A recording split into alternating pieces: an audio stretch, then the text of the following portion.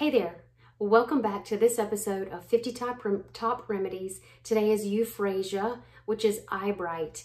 Euphrasia is wonderful for all things with the eyes. So your eyes might be itchy, burning, um, you might have conjunctivitis, you might have some other kind of eye disorders. So Euphrasia is wonderful for allergies, hay fever, colds um, that, that um, have a lot of eye symptoms.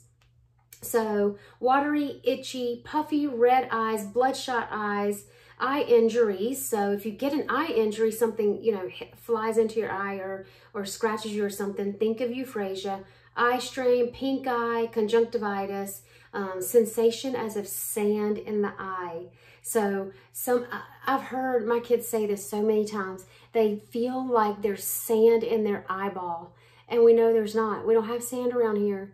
And so, um, and so we use euphrasia and it helps so much. So it's really, when you feel like you have sand in your eye, it's really dry and um, it kind of burns and itches and you can't relieve it. Usually, probably this person would want water or cold compresses or something to try to help it feel better.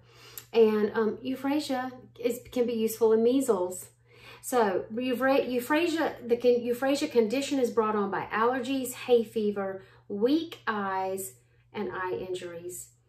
I hope that you'll join me in a class so that you can dig deeper with me into remedies, case taking, learning these remedies, how to apply them, how to become the homeopath of your home. Join me in a class. I want to teach you how to um, do this in your house and do it well.